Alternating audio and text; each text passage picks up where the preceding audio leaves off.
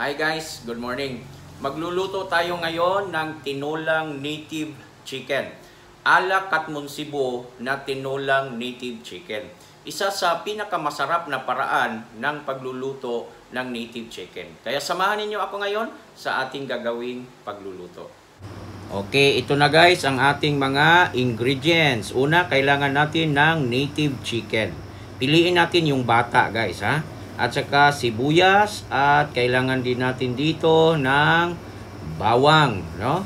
At syempre gagamit tayo dito ng luya at uh, toyo at konting suka. At kailangan din natin dito guys ng aswete, no? At kailangan natin dito ng durog na paminta at gagamit tayo ng kaunting bitsin, magic sarap, at gagamit tayo ng asin at gagamitan natin ito ng tanglad. Okay? So, ang una nating gagawin guys ay imamarinate natin yung ating native chicken. No? Uh, lalagyan natin ng konting asin at lalagyan din natin ng durog na paminta. So, piliin natin guys ha, yung manok na medyo bata pa para hindi siya matigas. At pagkatapos na nilagyan natin ng asin at durog na paminta, lalagyan natin ito ng soy sauce. At syempre, lalagyan natin ng suka. At pagkatapos ay imimix natin, no? Haluin nating mabuti. So tiyakin natin guys ha na malinis yung ating kamay at saka nalinis na rin natin yung ating manok para masarap ang ating gagawing pagluluto. Dapat malinis tayo sa ating mga pagluluto. So maraming salamat sa lahat ng mga nag-subscribe sa ating YouTube channel na ito.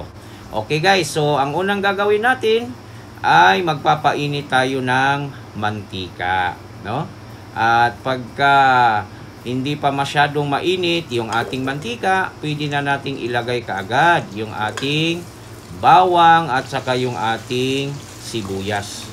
Tapos, haluin lang natin ng konti at isusunod na rin natin dito yung ating luya, no? So, importante talaga dito guys yung luya, no? At pagkatapos ay haluin natin. Pagka naluto na guys, yung ating bawang, yung ating sibuyas, at saka yung luya, pwede na rin nating isunod, no? Yung ating minarinate na native chicken, no? Minarinate lang natin yan guys ng mga kahit 10 to 15 minutes. At pagkatapos ay ilagay na natin ito, no?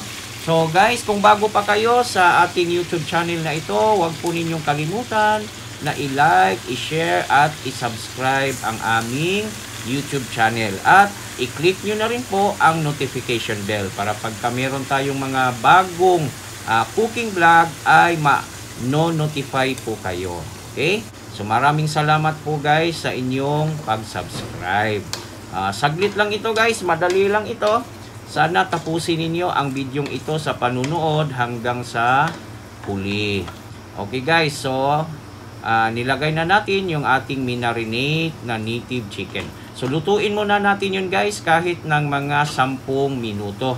At pagka naubos na yung kanyang tubig, ay saka pa tayo maglalagay ng karagdagang tubig kahit mga apat o limang baso no? So kailangan natin dito guys yung masabaw talaga kasi uh, masarap ang sabaw nito no? So mga apat na baso o lima depende sa inyo. Pagkatapos ilalagay na natin yung tanglad. At pagkatapos tak takpan natin ulit no?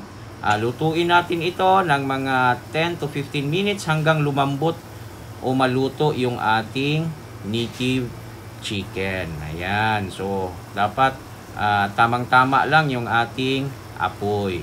Okay, pagkatapos niyan guys, ay ilagay na natin yung ating aswete. No? So, ito ay importante talaga na sangkap natin dito yung aswete. No? Pangpakulay. So, ayun guys, no? So, sa mga bago pa dito sa ating channel na ito, Uh, guys, huwag ninyong kalimutang i-like, share, and subscribe ang ating YouTube channel na ito na Migs Food and Travel Vlog TV. Okay guys, so okay na ito, luto na ito. So, uh, timplahan na natin ng konting magic sarap at ng konting vitsin. At pagka sa tingin nyo guys ay kulang sa alat, pwede nyong dagdagan ng asin. Ayan, kitang-kita nyo guys, napakasarap ng ating tinulang native chicken ala Katmon Cebu na native chicken. Ayan, so luto na ito guys. So pwede na natin itong ilipat sa isang serving bowl. Ayan, napakabango, napakasarap, manamis-tamis ang sabaw nito guys. No? Dahil ginisa natin yung uh, luya, nilagyan natin ng tanglad at saka syempre nilagyan natin ng aswete. Ito na guys, ang ating tinulang native chicken ala Katmon Cebu style. So maraming salamat sa inyong panunood.